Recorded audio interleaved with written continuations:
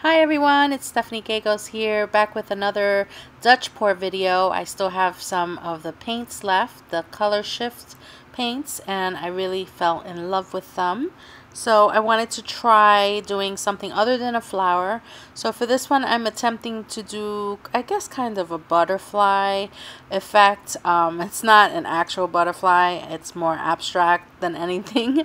But I guess you guys will let me know if it looks like a butterfly or not. Anyway, um, enjoy the video and please leave me a thumbs up if you do.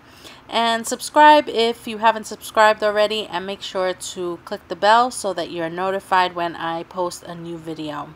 Um, I was looking back at some of the people I'm subscribed to and I realized they hardly ever come up in my feed, which is a big bummer. And out of sight, out of mind, I guess. So that's why the bell is so important. Um, especially with YouTube's algorithm, which kind of shows you what they want you to see. So I'd appreciate that, and thank you so much for watching.